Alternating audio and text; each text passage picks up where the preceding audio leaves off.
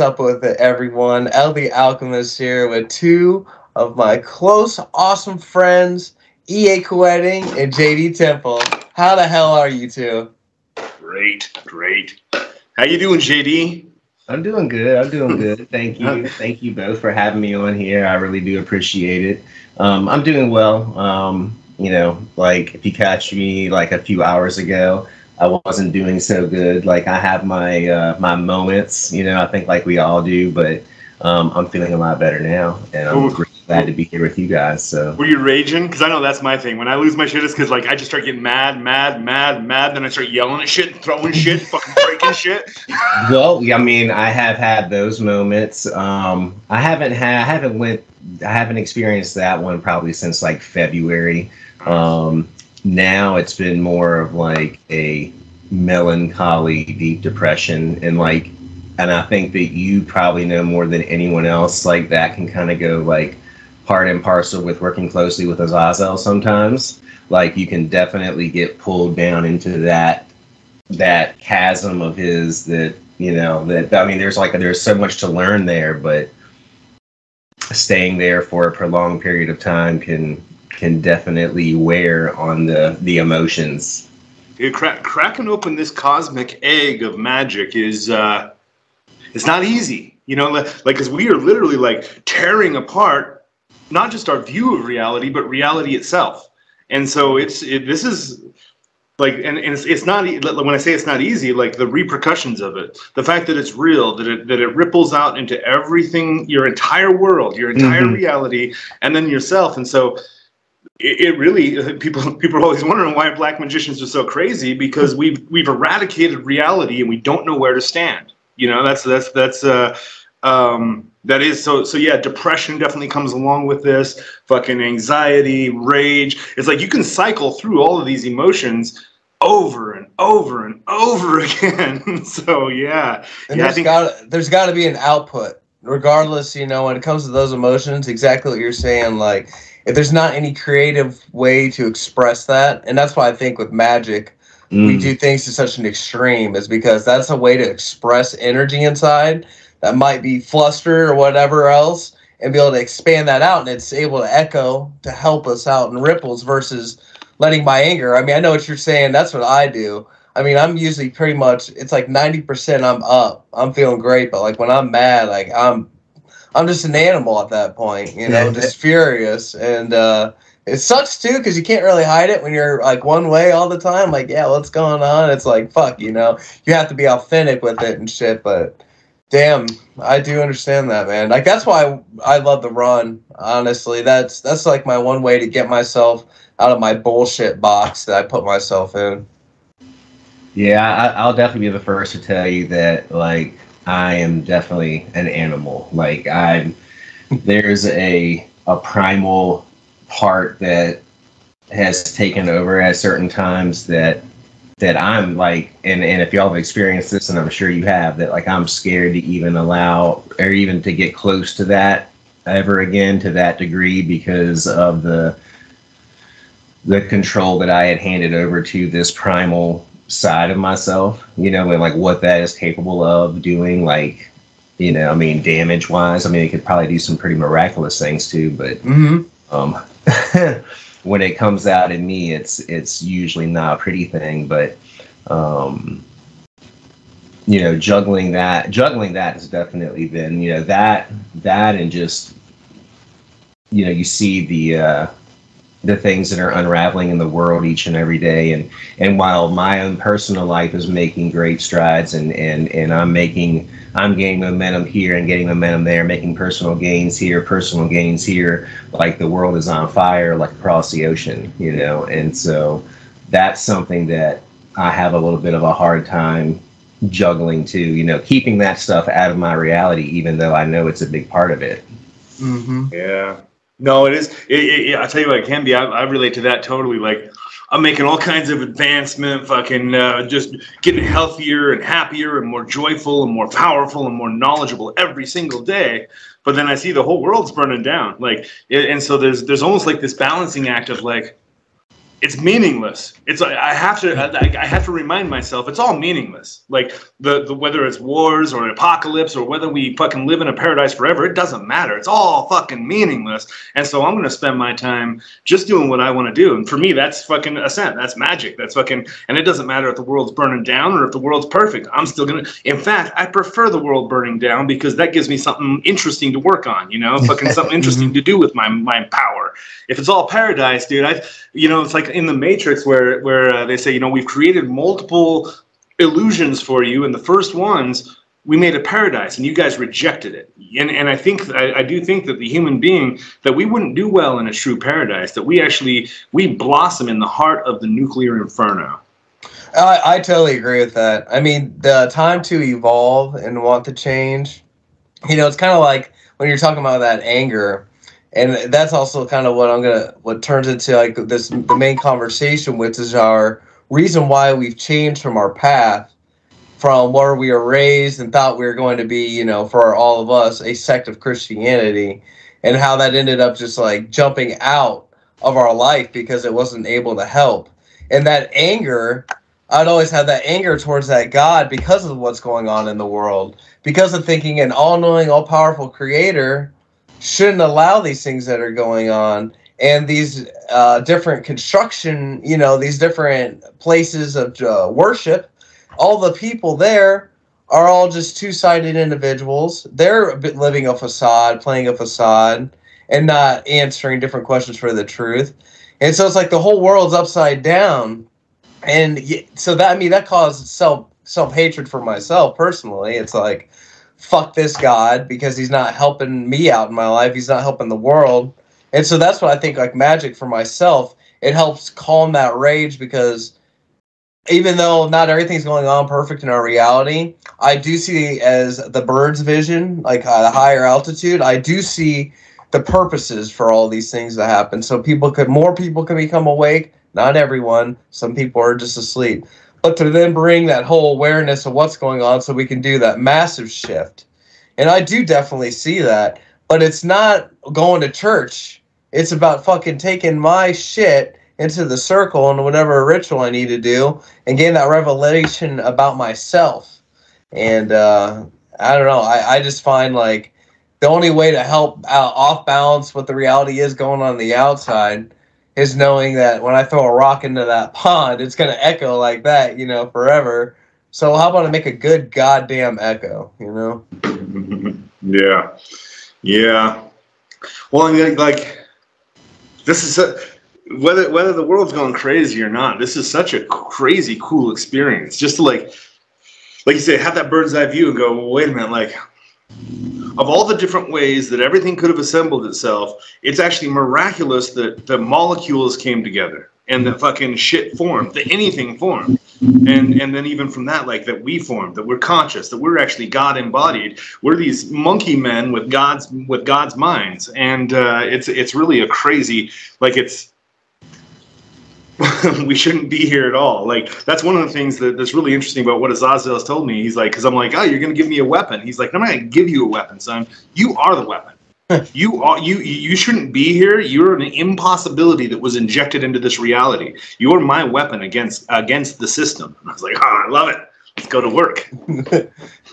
well, ancient history really does pull back into. I mean, that was a part of my whole change and everything else with my spiritual path is when as I look farther back into the Sumerian and talking about uh you know the pre pre man whatever the hominid it was that they didn't have a conscious spark and then they were given that conscious spark by Enki and then grew in as conscious beings and broke out of that slave like system.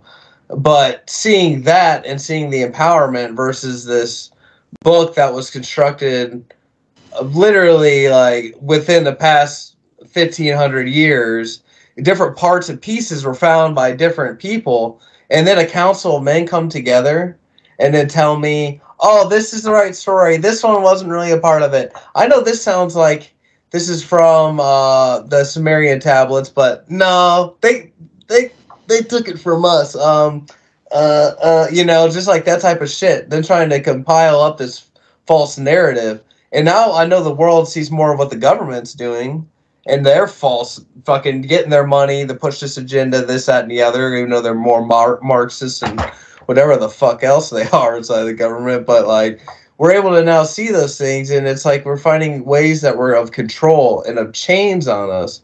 And I really do like the whole process of ascent is getting rid of those chains. And uh, I just, I just have found like when I was shackled like that, and in like the Christian paradigm, the amount of self hatred. It didn't matter if I went to confession three times a week. It, it the questions weren't being answered. You know, they were just more being brought up.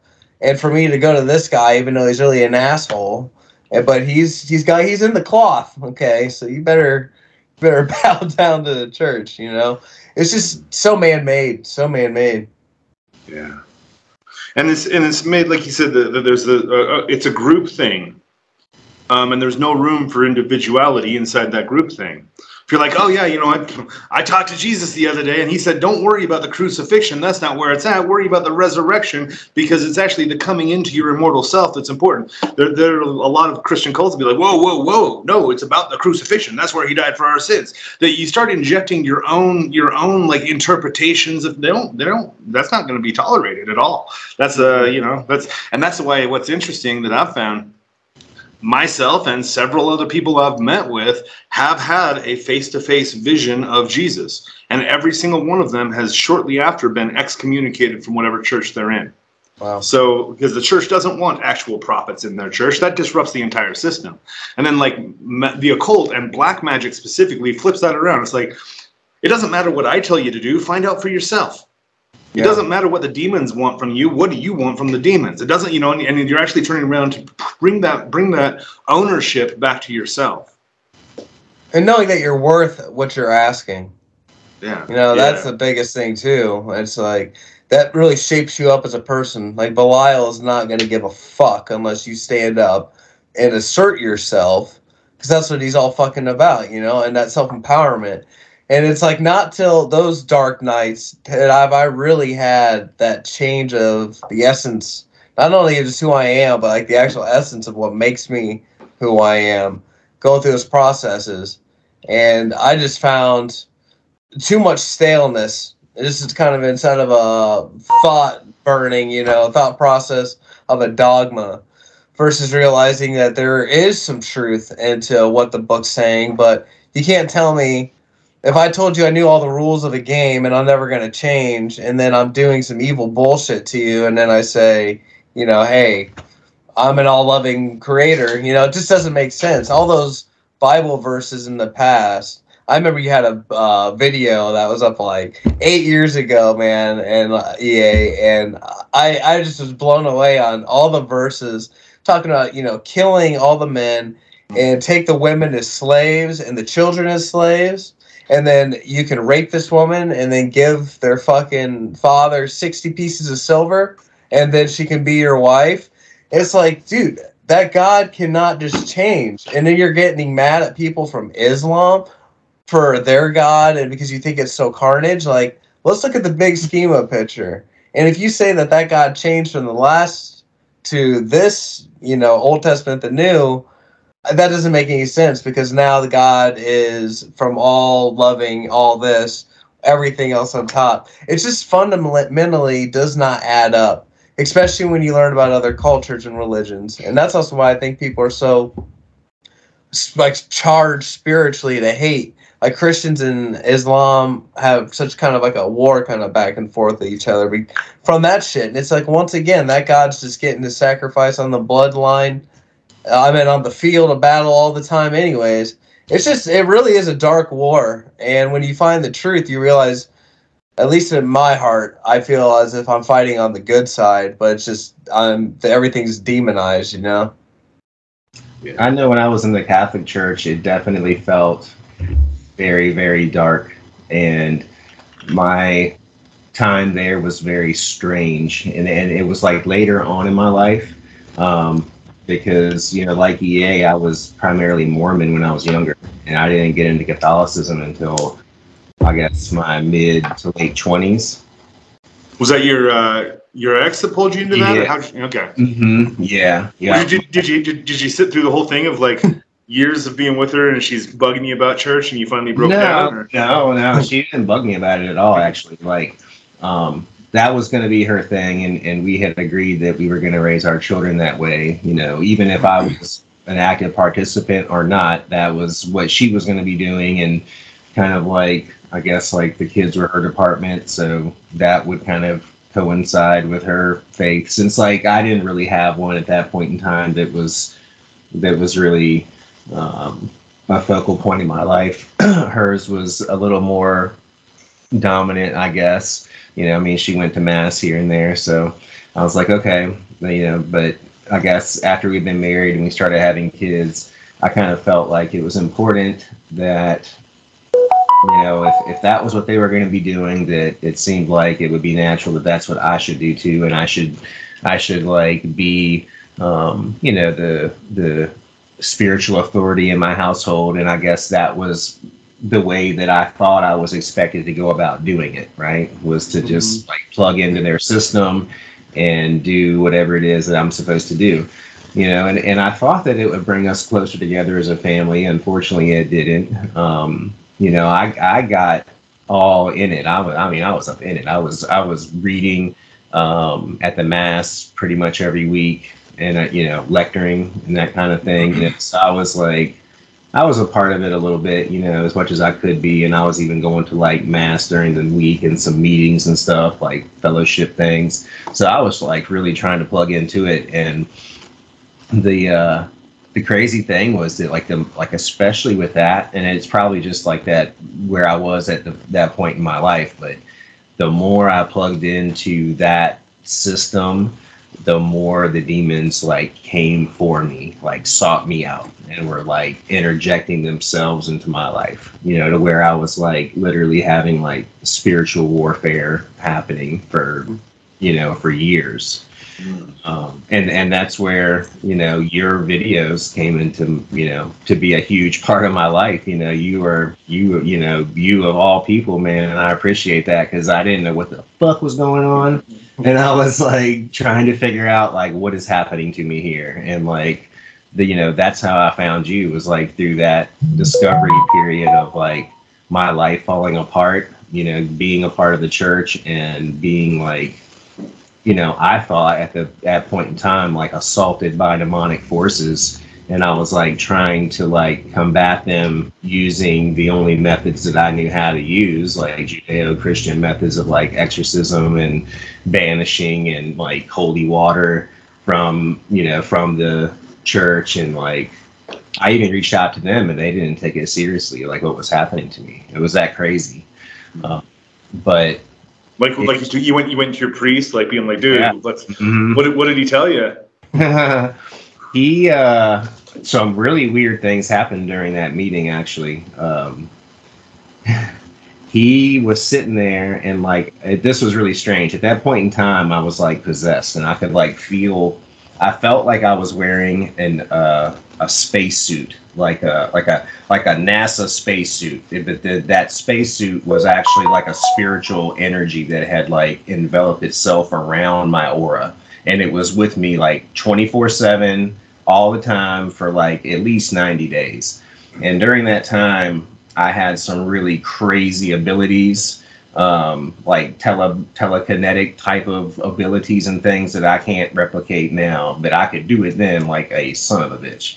But um, it you know it was really hard to handle having this spiritual energy kind of overlapping mine on a consistent basis for that long. But during this meeting, I was actually experiencing that at that time.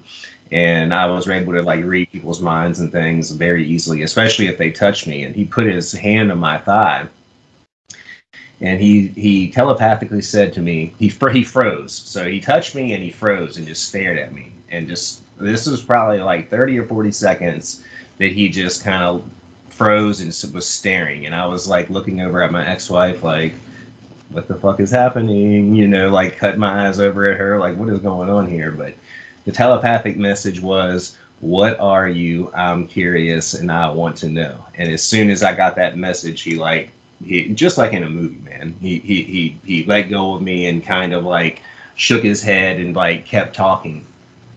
After the meeting, the first thing I said when I got outside with my ex-wife was like, "What the hell was that?" And she was like, "What?" And I was like, "He froze in mid-sentence for like at least half a minute." She was like, "No, he didn't.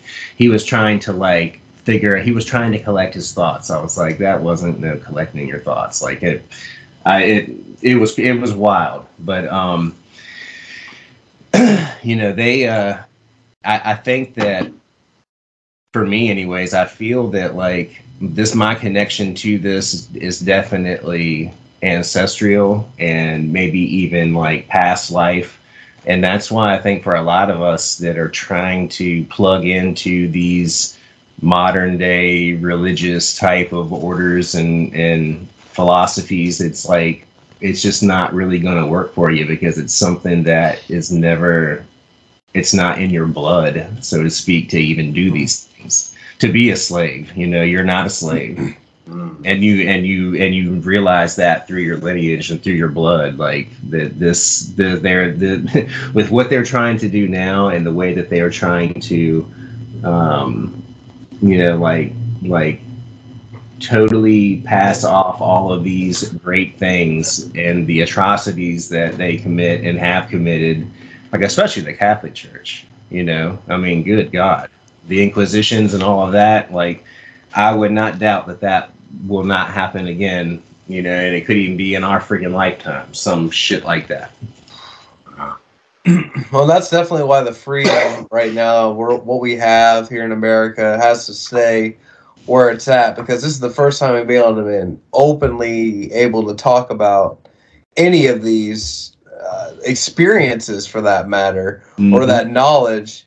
And I mean, I definitely see it. That's like why we're going into this new era. But like right now, everything is very, it's on glass, as one would say, you know, because like it has to keep going in a certain direction because if it falls off the trajectory, then everything will become a huge mess and be burned at the stake again. But I mean, just like the savagery of being burned at the stake for someone that was learning about medicine and mm-hmm. then they're saying that's witchcraft.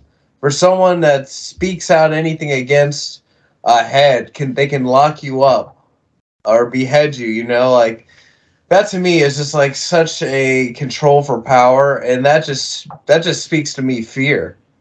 You know, that's fear for the person doing the oppression as well as the people that are being oppressed. Like that is the underlying rule ruling ship of especially the Catholicism, and that's what I experienced when I went to the church.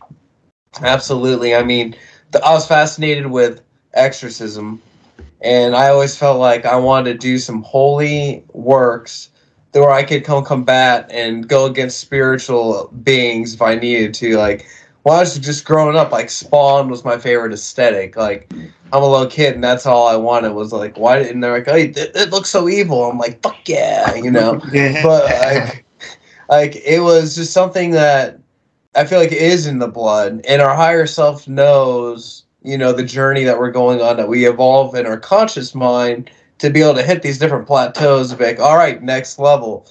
But I do think that we've just always known inside, like that there's something kind of off going on. But you know, it takes everyone a different formula for them to make that gap that jump to be able to break outside the shell. And um, I would love to know what it was for both of you.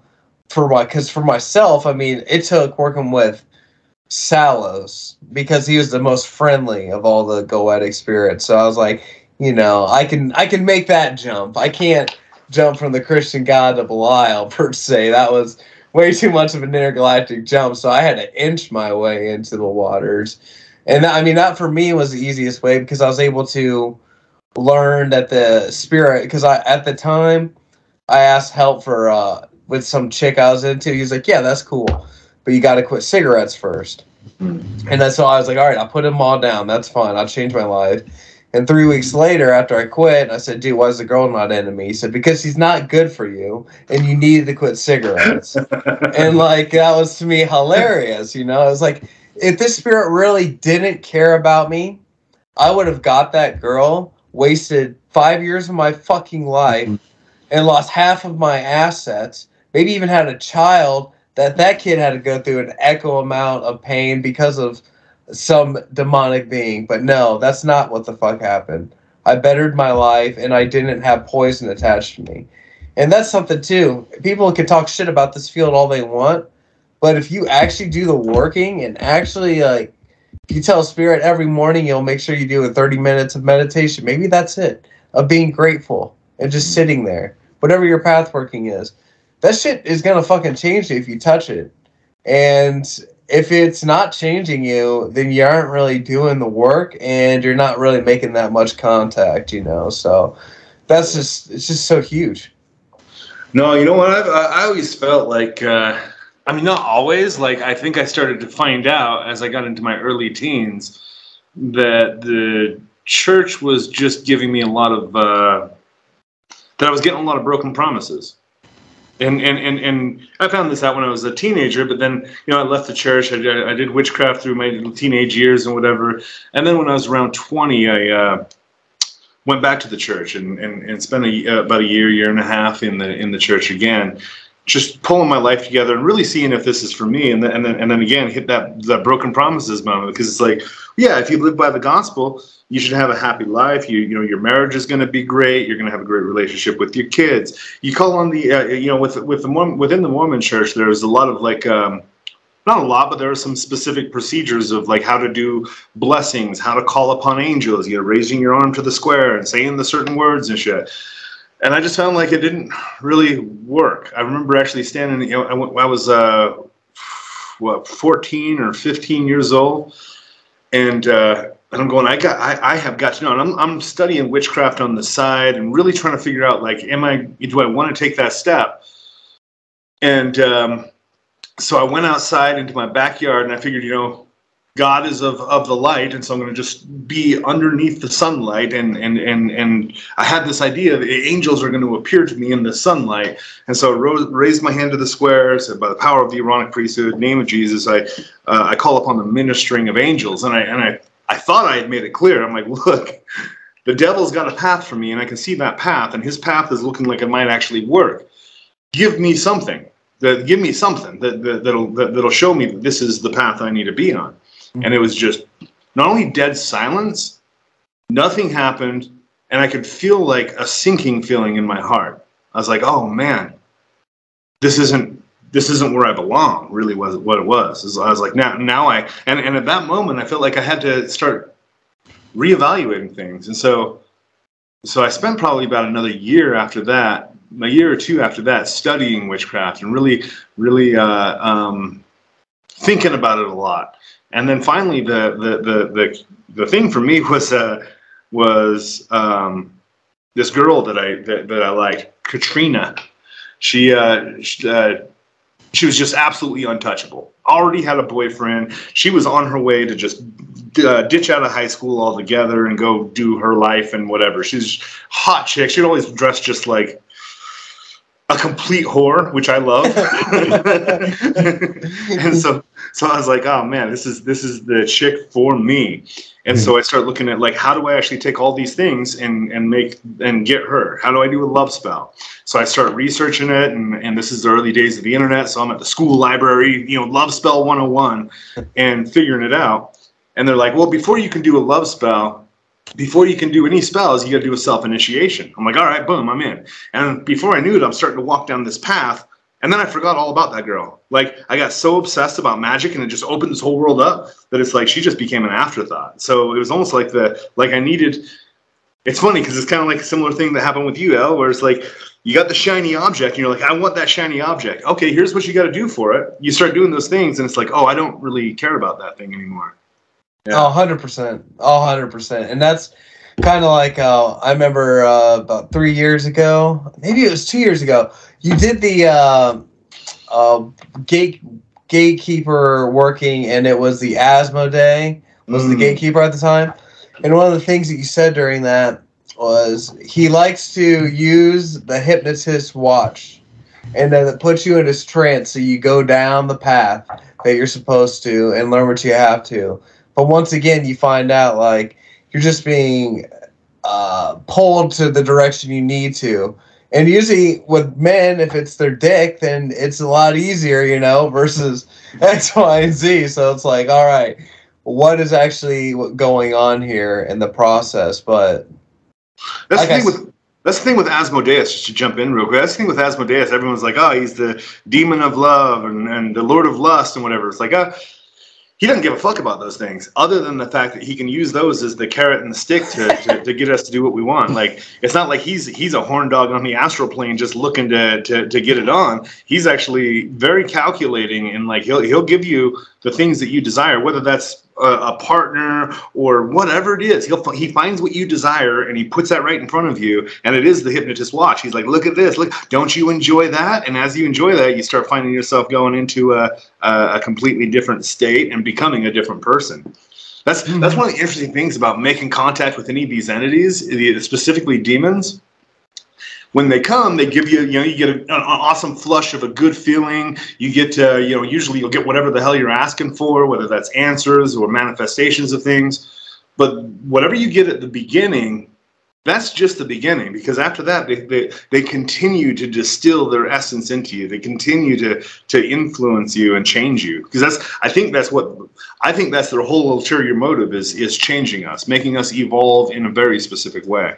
Absolutely. I think that unlocking of your DNA when you're talking about, you know, the black alchemy, like that's an absolute from my physical appearance has changed dramatically since I've worked with spirits. Like I would work with, you know, the saints and I was happy I did that because I was able to kind of learn the functionality of kind of summoning up a goetic spirit because you know it's like all right they kind of have their own attribute their own energy you ta tap that into but it wasn't the amount of change like that was like an answered prayer versus an absolute change the way and shape my eyes actually are the fact that I just got rid of all my hair. I mean, you guys have two luscious bits of hair, you know, but my ass, I had to go the JS Garrett route. I had to go to save my fucking head. Um, but I mean, even that was a lesson in and of itself. You know, I had problems with uh, self esteem, and I worked with Belial, and the first thing he said was, "Shave your head." I'm like. "What are you talking about?" And he said, "Shave your fucking head. You gonna sit here and complain and hope people have some appearance of you? How about you quit worrying about that and step it up and move on?" And you know, now when I shave my head, I think about anything that's attached to me throughout the week that's been some bullshit.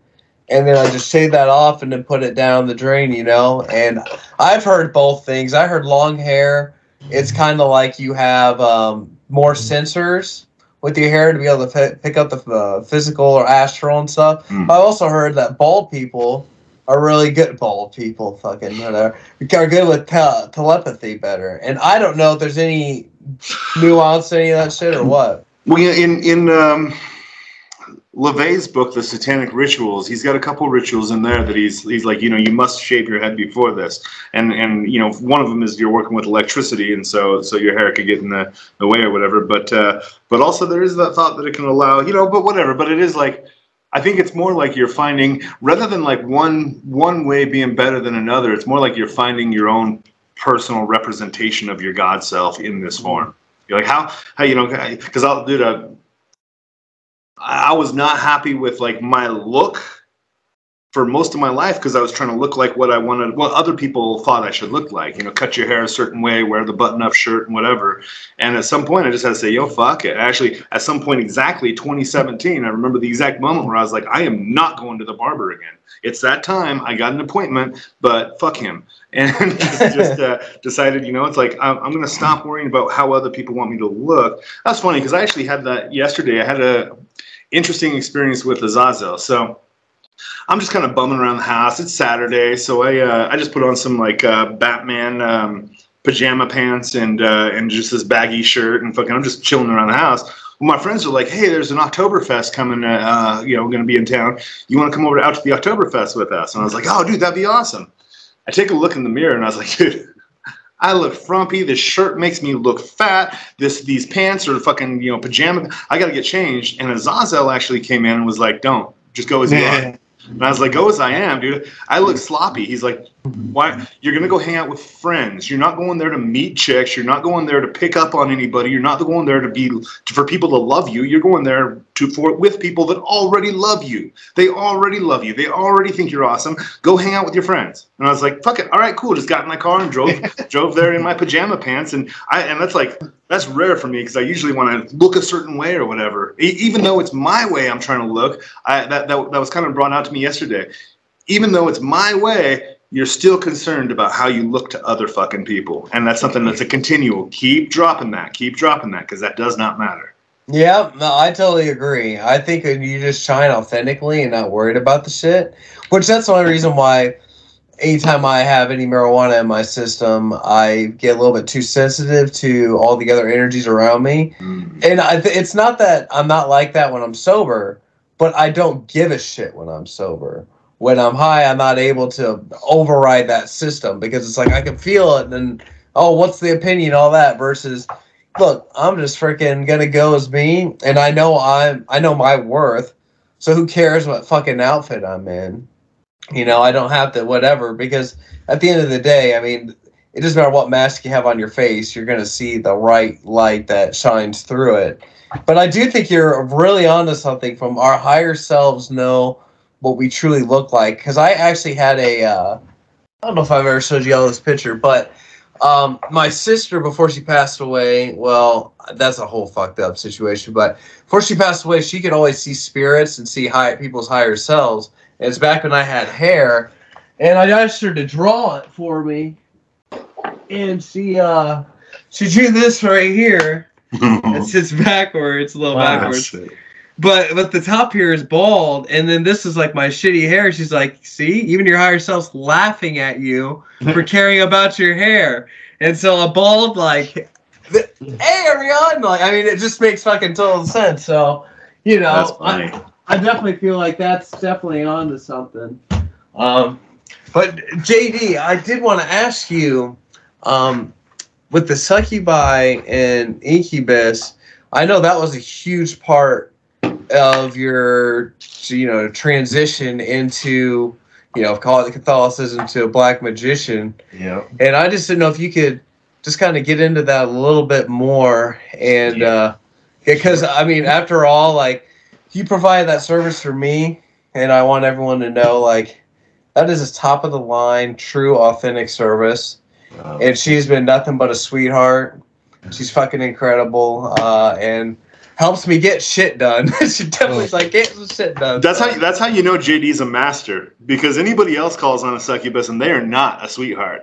the, fact that, the fact that this man can sweet talk the succubus before he sends it to you, hell yeah. yeah, exactly. Well, hey, it's it's it's it's all Lilith, like really and truly. You know, like it's uh, you know, I, I definitely just you know, I'm kind of just there as a an, an officiant of it, but you know, it's it's definitely thank her for sure. Mhm. Um, with that, you know, like, I mean, that's really where everything started for me. Like, like I had, so one of the first incidents where I had a sleep paralysis incident, and I was sleeping in this little sofa thing, like across from my wife. We had this like sofa thing that was from this um, this really old um, estate house on, in this vineyard in Charlottesville, Virginia, and I think it's haunted, but that's beside the point. I fell asleep on it, and I woke up, and and I just Azazel has made it made it known to me that that that this was him at that moment in time. I didn't realize that was him, but um, I fe- I woke up on my back, and I felt like I had a beast like a beast on top of me. Like I couldn't see. My head was turned to the side, so all I could see was the wall. But my eyes were open, but I couldn't talk. I couldn't move. I felt like hands on my shoulders and I felt like knees like digging into my thighs and it felt like you know in my mind's eye like my my third eye was just cracked wide open during that moment and I could like get a really clear vision of what it looked like that was on top of me that I couldn't see like I could see it like uh astrally I guess and it was some kind of like big hairy beast and it said what are you going to do now And as soon as it said that, before I could like, you know, even answer it, it was just gone and that was over. And like that kind of initiated everything else that happened after that. So it was like the next day, these two owls appeared on my property and they were just there all night, every night, making noise. They were never around before.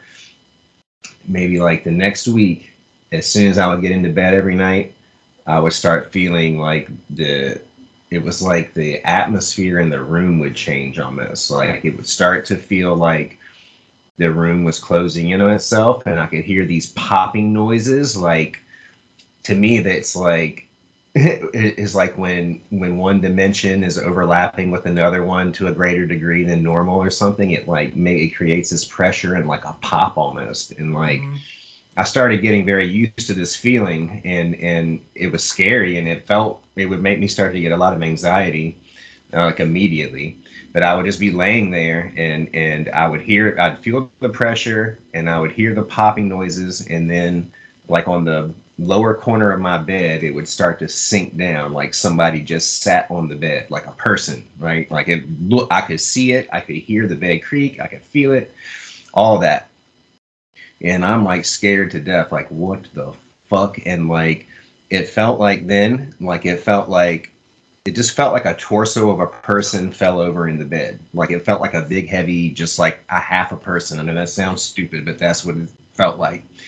It felt like it just fell over at my feet. But then at that point in time, it turned into like this this uh, energetic serpent that started coiling up around my ankles and moving up my legs. And like as it's moving up me, it like just starts to envelop my whole body and like starts to become like highly sexual, highly sensual, like the craziest full body orgasmic energy you could ever imagine. And then it would just like go all the way up to my head and it would come back to my feet.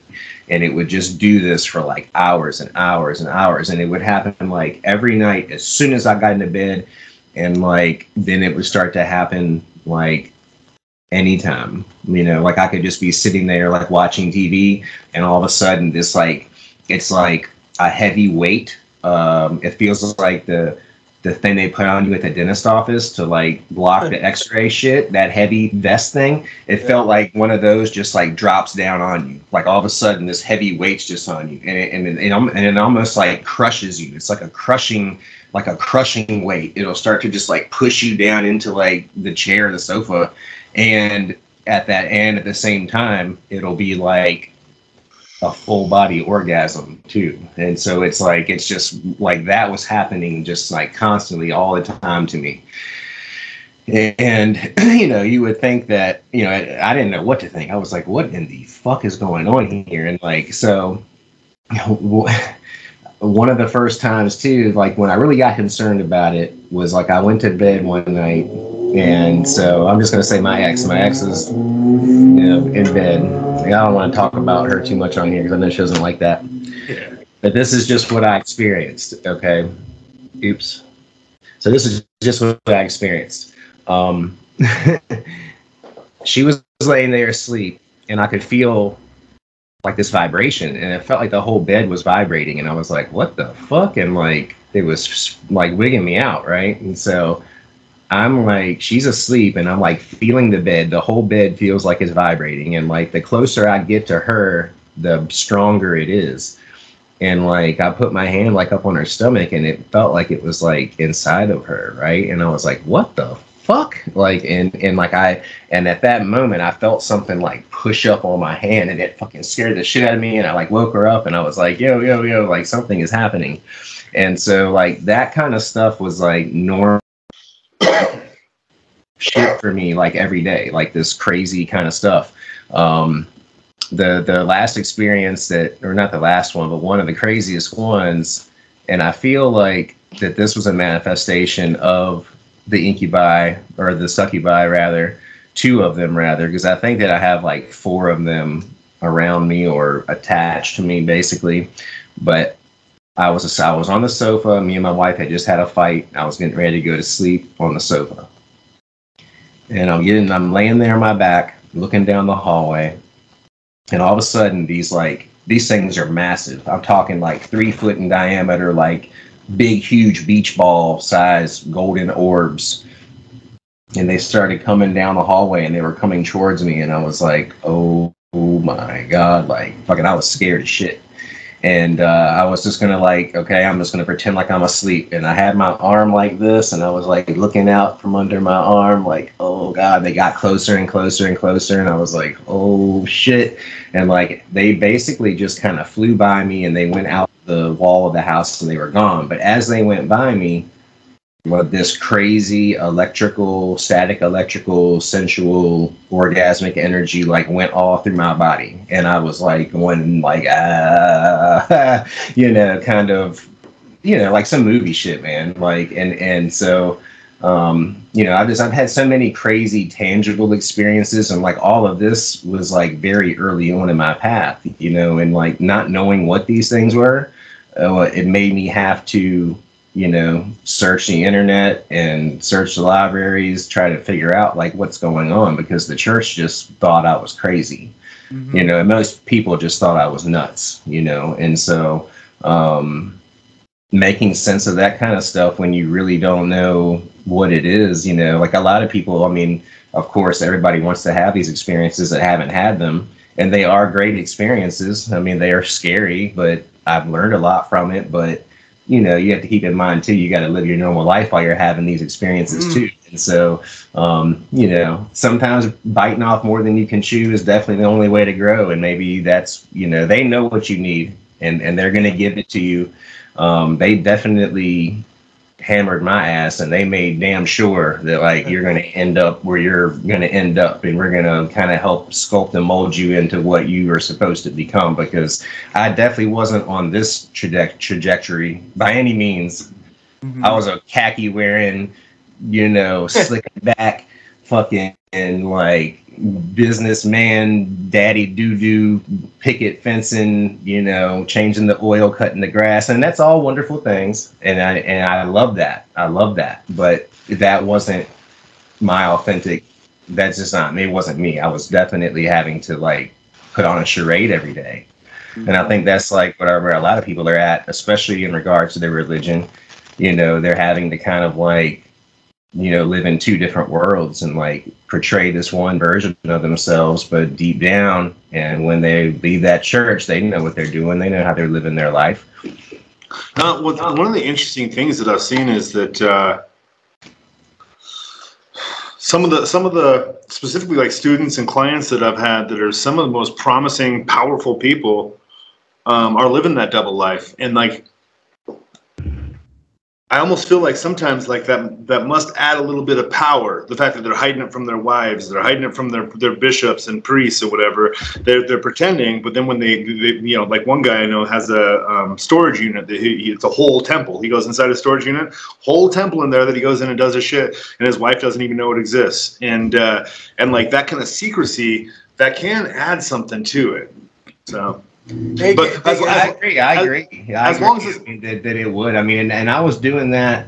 I will have to agree because I mean, I was doing that and had to do that for a long time, and I think that definitely added an element of power to it. Now that I think about it, it for sure yeah. it is. As as long as you, as long as it's not tearing you apart, because it was tearing me apart trying mm-hmm. to live mm-hmm. both lives. You know, trying, that's, trying, you know. that's exactly it for myself trying going to church and then also having people do ritual cast for me and I was learning it. That eventually ripped me into two. You know, I feel like there's so much like I'm not just walking and waltzing into my nine five whatever saying uh, I do ritual magic every day. You know, like I'm just yelling that out, like I'm just being me. But if it comes up in an authentic conversation, then of course it's gonna happen. But when I was just to butt in real quick, well, when, when I was like maybe three fourths of the way through my gatekeeper operation of, of the nine gatekeepers, um, my relationship was falling apart pretty quickly. My last relationship, and so remember we went and took a, a walk to go watch the sunset together, and we're standing there watching the sunset, and I just remember I told her, you know, I uh, I can feel the magic is pulling me and you're holding me to the ground. Everything around me is holding me to the ground. It's like bolts that have bolted this rocket into the ground. But the problem is the rocket's already firing.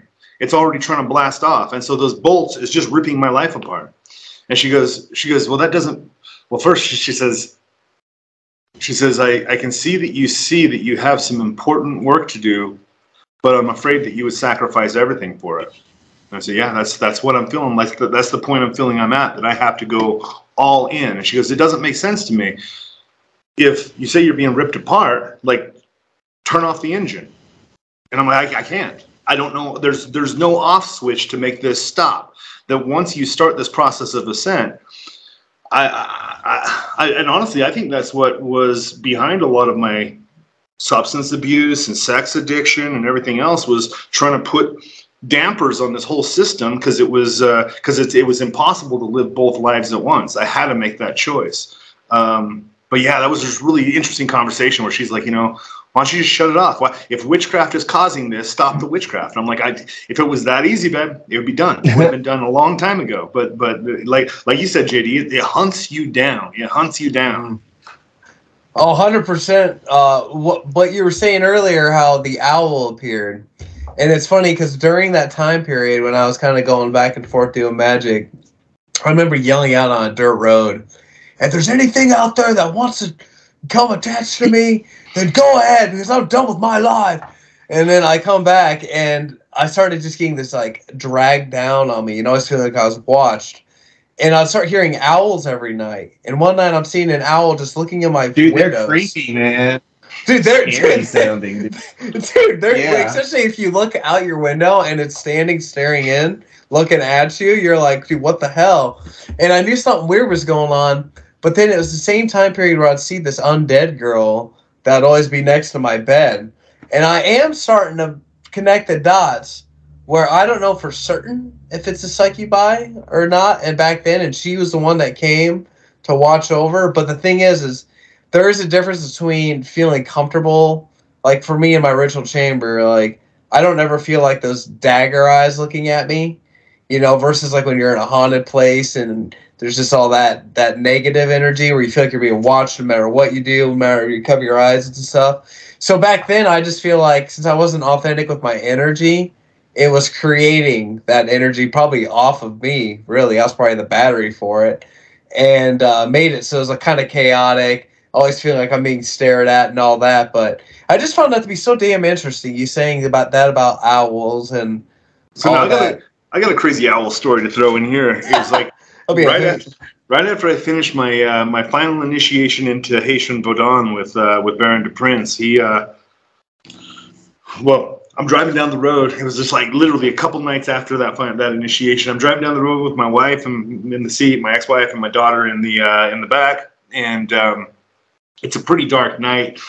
I don't even remember where we're going, but I see right in the middle of my lane and it was it was actually like on a bridge right in the middle of my lane and and the bridge is such that like it's got um, barriers on either side so you can't really there's no wiggle room you know it's a one lane fucking bridge or whatever so uh there's a um an owl just uh chilling there you know looks it was the size of a small child. I thought it was a small child standing in the road in the middle of the night. I was like so i stopped the car.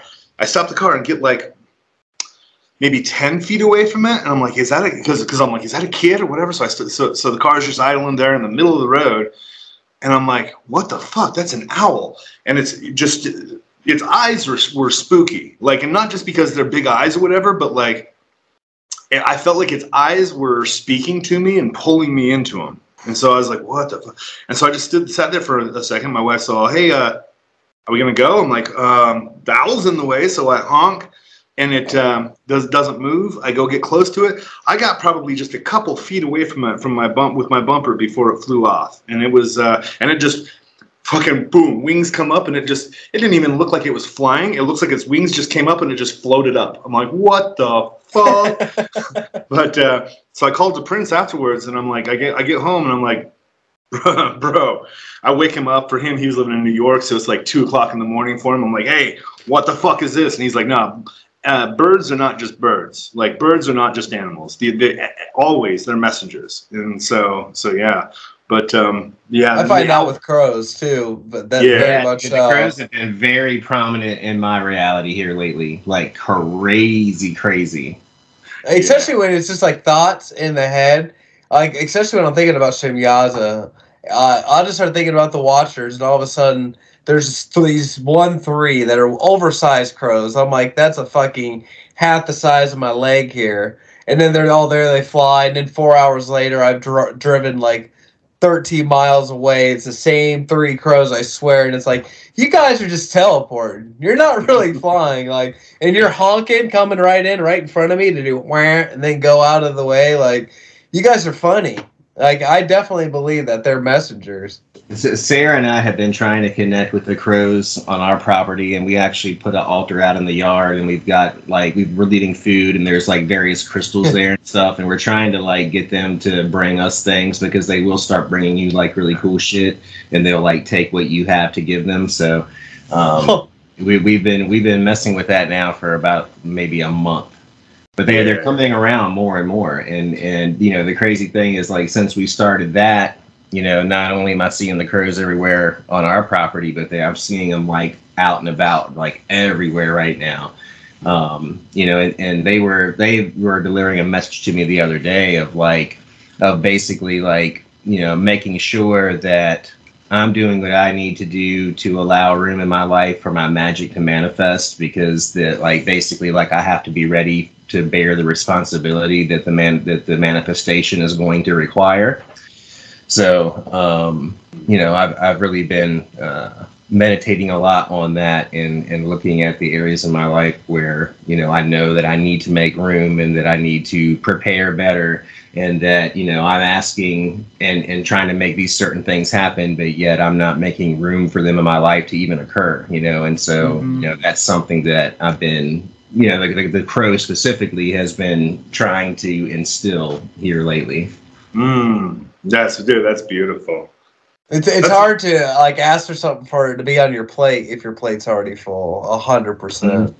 Uh, especially you know, and especially like like even having your plate full, but like most of us have got our plates overfull. Like, yeah. you know, most of us living an American life and, and and working and trying to achieve the things we got and having a family and a girlfriend and whatever. Like, whatever, all, all of these, dude, we we pack our lives full, uh, and a lot of it with a lot of bullshit. Like, one thing I'm gonna say, ever since I got kicked off of uh, social media, dude, that's freed up so much time and energy that I was just throwing away, just throwing into the world. And as soon as I had that, like I was actually kind of bored and didn't know what to do with myself when I mm. first just couldn't jump on Facebook anytime I wanted to. Yeah. But then, uh, then like pretty quickly, dude, I remember actually. It was like a few days after getting kicked off of social media. I I was going for a walk. I was just out for a walk in my backyard, beautiful fucking trees and nature and shit. And I uh, I had a thought like, like when I was finished with my walk, I was like, fuck, there was not a single moment there that I wanted to take a picture and upload it to the internet or that I missed that. I was just in the moment, just cool. Like, and, and that was a big shift for me because it's almost like I was living the moments of my life to be able to make a post out of them. Yeah. Yep. No, I, I get that. And that's, that. Yep. Because, because there is a, there's definitely like, an inspired message you can get and that can be great content 100% and like i know both of you you share your magical journey your magical secrets and making videos to help people out those one-on-ones but sometimes is it's like is the sacredness being given to me for my journey for me or is it for me to be able to give it out to others as well? You know and that's that's kind of like i was trying to get myself to make constant content for my instagram all these other things and try to get in that algorithm of shit. But then for me, it hit a point where it's like, I'm not going to make something that's clickbait because that's not me. I just want to tell you what the fuck it is. It's a real thing. Be authentic with it. And then also want to be doing it.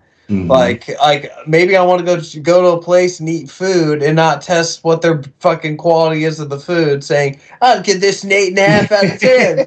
you know, like yeah. how about you just say like, goddamn, thank you for this meal and this conversation I had with who I am here having my meal with. And so I, I definitely, yeah. I, I'm finding more of that balance. Well, and you know the thing, because you, you, put a really important question there. Like, is your ascent just for you?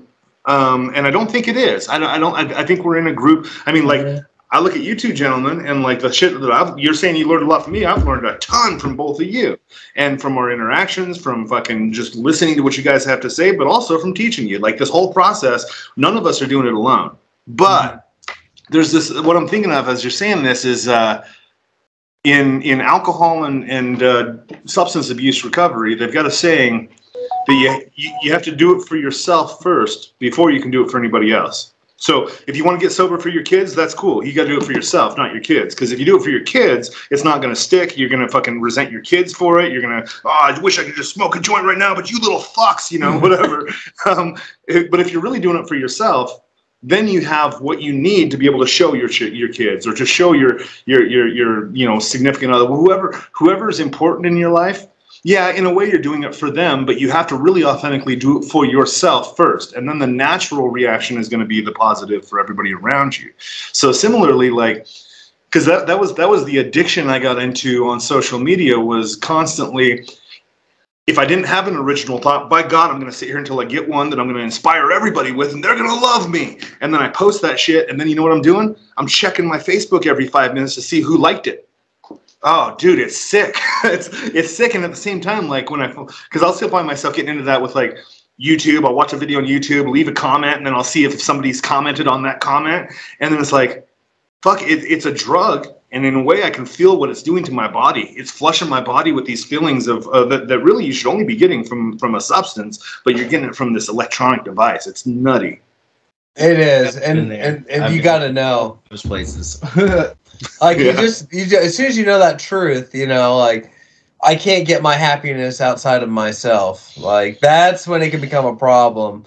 And that's also, I think, the only way you can become a better individual is if you're doing it for yourself. Because that resentment, that lo- that significant other, I'm gonna quit all these substances just for you, and uh, I'm gonna change up my life. It's like, well, as that person's not there, then not only are you going to be depressed about that, but then you're going to use all that crutch was to then just devastate you. So sometimes we have to not real, you know, actually not not, but actually know whether or not we're setting ourselves up for failure. You know, because if you depend on anyone else outside of yourself, that's when the problems arise. And and honestly, to do and to do authentic, powerful magic too, like once again, kind of stemming from earlier, like it has to come from within. You can't just be like, oh, everyone on online said I should do this ritual. I, I, I think I got the pass, you know, or I got enough likes, so I, I can post this now. It's like just do you, be authentic with it, and move on. You know, don't stick with it. Yeah. Um, now, what uh for both of you, uh, we'll we'll start wrapping this up. I'd love to know uh for you guys just announce any group workings or next projects coming up, and just anything along those lines that you'd like to plug. And uh, whoever would like to go first, more than welcome to. Yeah, I'll, I'll, I'll hit it first, I guess. Uh, um, all right, so I've got a uh, encyclopedia of vampirism coming out Halloween. This is by N.D. Blackwood. So you can go to becomeliving.god.com slash encyclopedia. And um, and that's that's really cool. It's got so he gave me his manuscript. He's been telling me about this this book for about a year, and I've been a little scared of it because I'm like, dude, nobody wants to read a fucking encyclopedia. Like nobody wants that shit. Come on, you might put it on your desk and you'll thumb through it every now and again, but this isn't interesting. He turned in the manuscript uh, a couple weeks ago, and so I looked at it.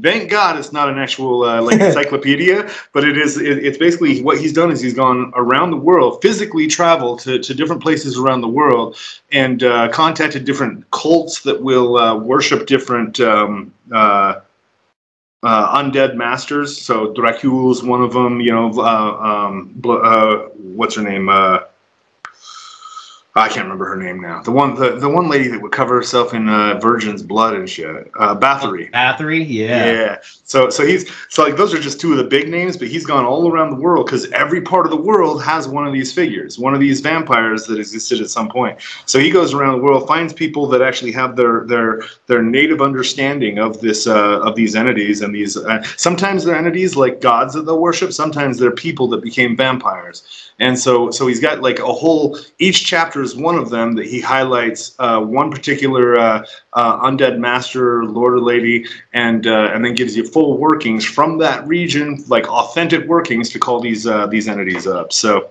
Wow. that's gonna be badass. That's coming out Halloween. As far as group workings, you know, Shit. I uh, on uh, there's something going on on the Discord. I think it's just a small little Discord channel that I'm going to be doing a um, I'm not. I'm not. I'm not presenting this. I'm just going to be taking part in this uh, this ritual to call forth King uh, King Mahad. I don't know. Might be his name Mahar. God, I can't remember. It's it's it's a Jin King. I can't remember his name now. So uh, so I'm going to call him this Jin King.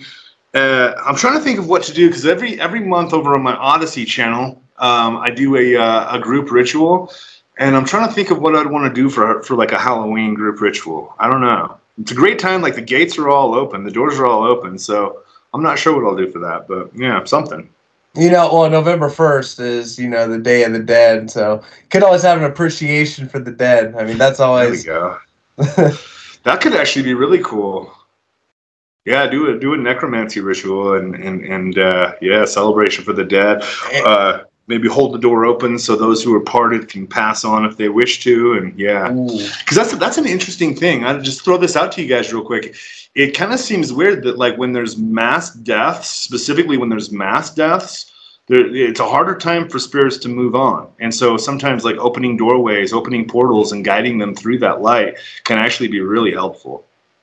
That's a, actually this haunted mansion. I just checked out yesterday. We're gonna have a overnight stay and stuff here and uh, that's something I was kind of asking him, like, why don't these spirits want to go? And the guy said, then they're more than welcome to go, and the gate and the gates are open, but these spirits want to stay.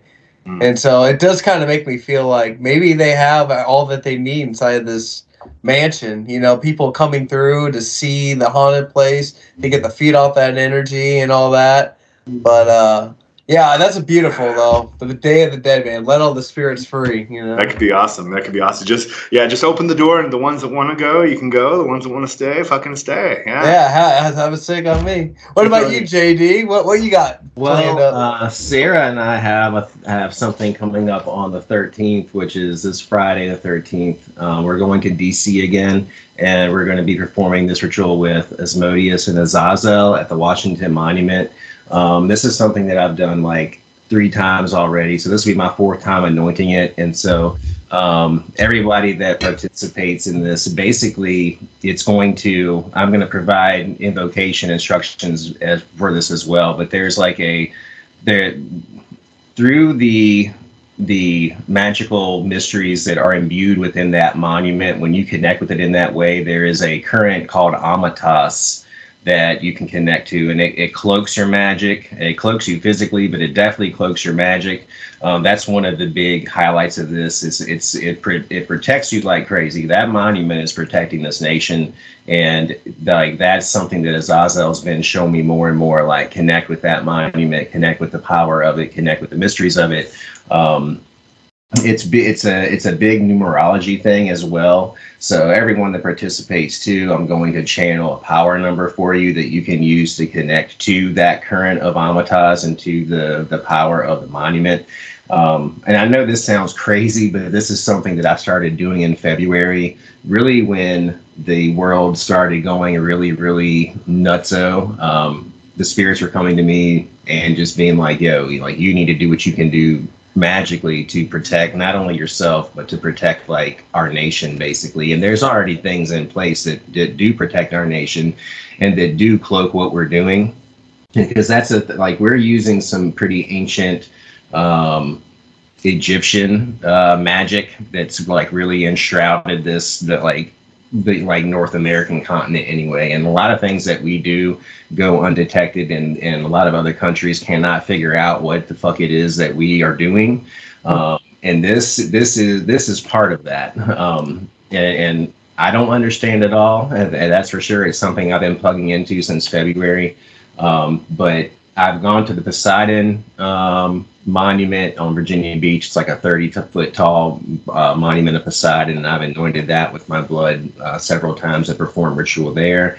Uh, just to protect our coastlines and protect our waters. And then I've been doing the same thing too with the Washington Monument in order to protect me, my family, my loved ones, um, and just this nation, you know, because I love this place. are you able? Are, are you able to actually get up and touch the mm-hmm. uh, the, the, spire. Oh, dude, that's uh, because there's there, uh, there, there's something you said a couple things that are really important here because people might be like the Washington Monument, what the fuck?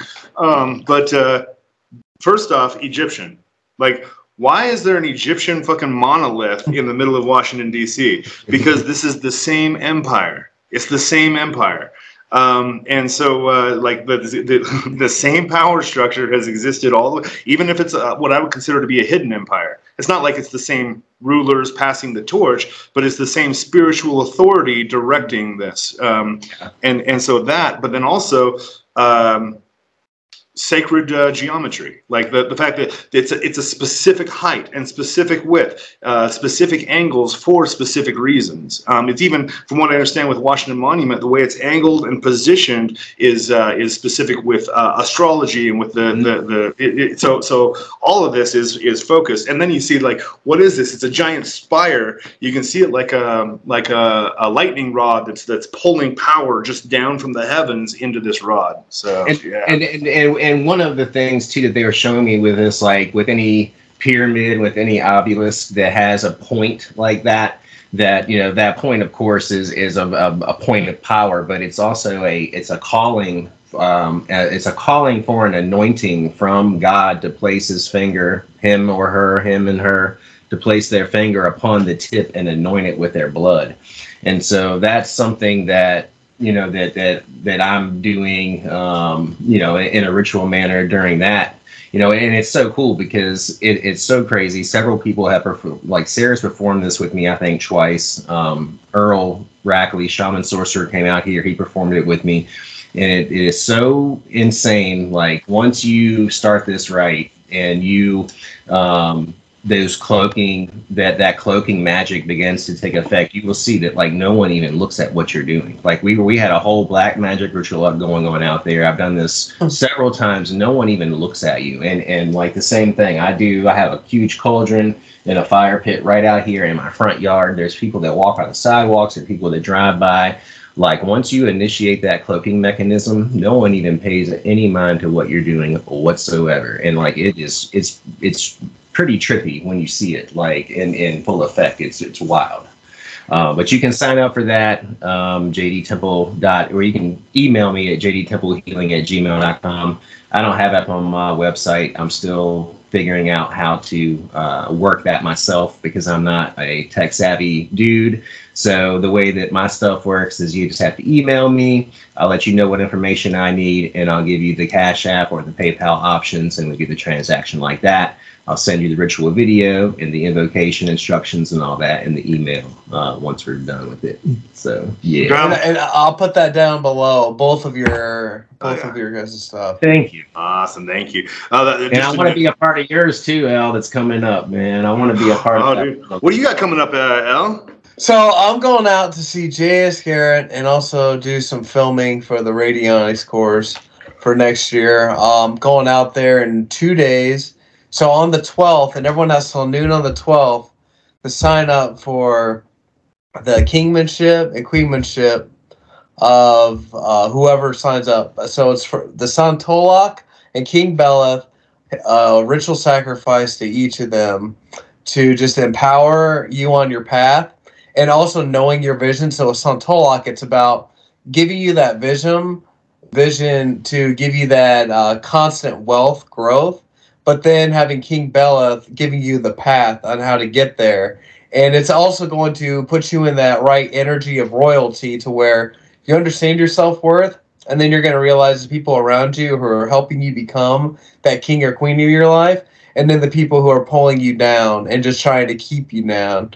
So it's going to be one mm-hmm. hell of a projectile of growing your own empire with a way for continual wealth, not just here's some money here and there, but like actual ways to take you to the place you'd like to. Because, you know, to grow our empire, we have to be able to have all the different facets, you know, from the connections to the direction to the willpower, all, all these things build what it takes. And this ritual right here is going to be that ritual. And it's actually the ending of a path working for my first pact with King Beleth, and uh, it's gonna be fucking badass. That's all I can say. So that's cool, dude. One, that, one I, I, definitely want to be a part of that one. I want to definitely sign up for sure. Hell yeah, hell one yeah. Thing, one thing with uh, Beleth that's interesting. It's interesting that you're including him in this because uh, he can he can really easily silently destroy obstacles. Like when I say silently, without you even having to know what those obstacles are, you like you go to do something, you're like, that's not even a problem. Like, I see this problem was here, it's not there anymore. You just walk fucking freely to where you want to go. He just like removes, opens doors as you walk through them. It's fucking nuts. So Well, instead of being someone knocking on a door, you're just a king able to open the door now. Mhm. Yeah, yeah, no, that's that's awesome. Uh, a little note, dude. Uh, JD, that's that. Uh, I, I'm I'm really. Uh, it does something special to you to me to hear that Earl Rackley is joining in on on on, on that ritual and is working with you because that guy, he's he uh, for years, probably like more than a decade, he has been hardcore chasing his ascent, and and I've seen some of the stuff. I remember a Beelzebub ritual I did with him that was just off the charts, and then I, I from from my vision, because I don't know everything that's going on in that dude's life, just from like making contact with him for different stuff, that Beelzebub ritual just transformed him, and he is Yep. just uh, evolved. So that's that's so cool to hear that he's jumping into these major rituals at this point. Yeah, dude. Yeah, he, he went to DC with me and performed that right, and then he came back and and I had a shoulder injury for like five months, and it fucked my life up for for this half of this first half of 2023 was pretty miserable for me, uh, health wise, and um, it sucked, man, because he was in town and I was hurting, I wasn't feeling good, dude. I was struggling, man, and like we had just gotten off of like a three hour car ride on the way back. It might even been like four hours. It was like midnight. I was just ready to fucking get, you know, heap into bed and call it a day. And he was like, no, dude, like, I need to help you, like, right now. And I was like, right now? And he was like, yes, come in here. So he came in there, got the ritual set up. He called on Raphael and he put everything into it, man. It was crazy. He fell the fuck out on the floor and shit at the end of it. I swear, dude, like he healed my shoulder and like I couldn't I dude, I could not do anything, man. Like it was really you know, and and for him uh, you know, for him to like to you know, as a healer being able to heal heal energy and heal you know emotional pain and, and and move energy and help people to find relief within themselves. In that way is one thing but to heal actual physical pain is a whole nother level you know. And i was like dude like that was fucking amazing you know. And and so he definitely um, you know he's he's not giving himself credit and i think that's you know a lot of us are guilty of that most of us are guilty of that you know and that's Yeah. like a big part of i could see what was standing in his way is him just not seeing like look what you're doing dude like you're doing it like holy shit you know Yeah. Dude, I had, I had this dude uh, um, jump on a consultation with me, and he's all, he's like, I really can't see anything. I need to open my vision. I'm like, okay, cool. Tell me about something that maybe you have seen. What's a what's a recent experience of something that you've tried to do? He's like, well, I was trying to summon this, uh, um, the, some some some female entity into a.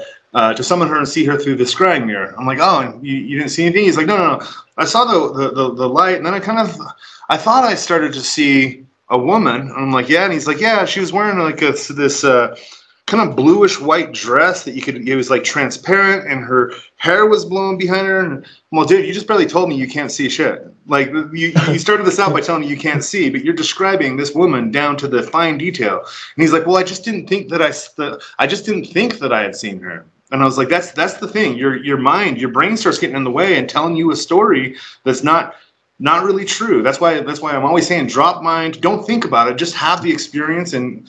I, I, but I can see the like not wanting to take credit because like all of these things are so. yeah, I, I never feel like I do the magic. I feel like the magic comes through me. Mm-hmm. Yeah, it's That- not like that's-. That, that that's totally. I mean, I do the black web. I am just a facilitator, kind of like what you're saying with Lilith and the succubi. Like, I'm just a facilitator. Like, I let him have his energy within my temple. We do whatever. Something. Usually, everyone there's something a little bit different I do with every single person because I'm just doing what I'm told, and then it's done.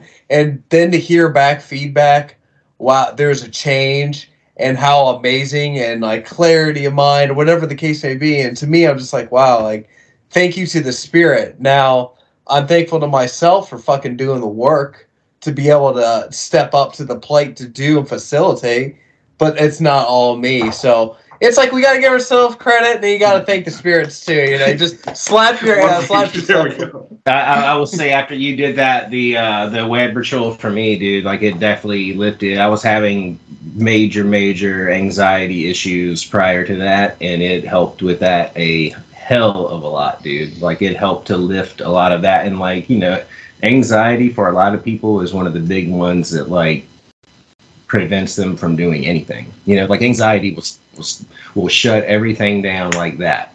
Yeah. And, and so for people that um, for people that have a hard time, especially with that, I would definitely say that right will definitely give them relief and help them big time. At least it did for me in my case. Hell yeah! Well, thank you so Yeah. much. I appreciate Oh, it. Oh, dude, yeah, yes. Okay, I absolutely. love that. Well, thank you all, both for coming on here. Um, Oh, yeah. I'm gonna stop the recording. I just want to ask you both one question real quick. But everyone, be sure to like and subscribe to all of our channels.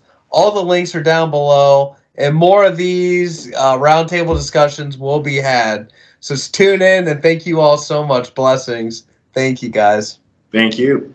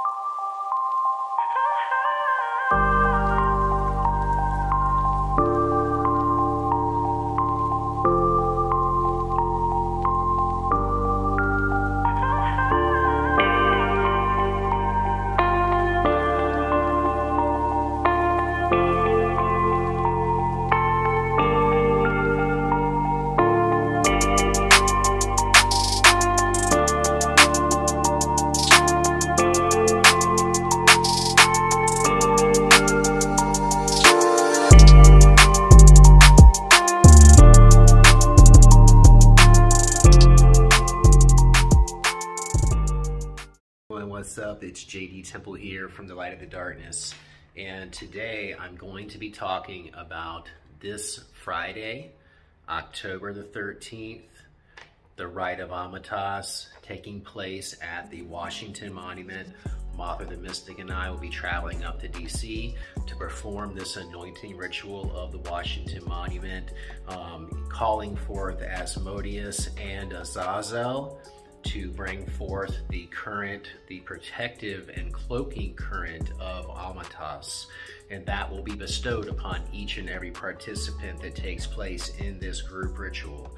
Um, we are extending this too to the uh, immediate family of everyone that signs up. You would just send their information along with your selfie, your name and date of birth.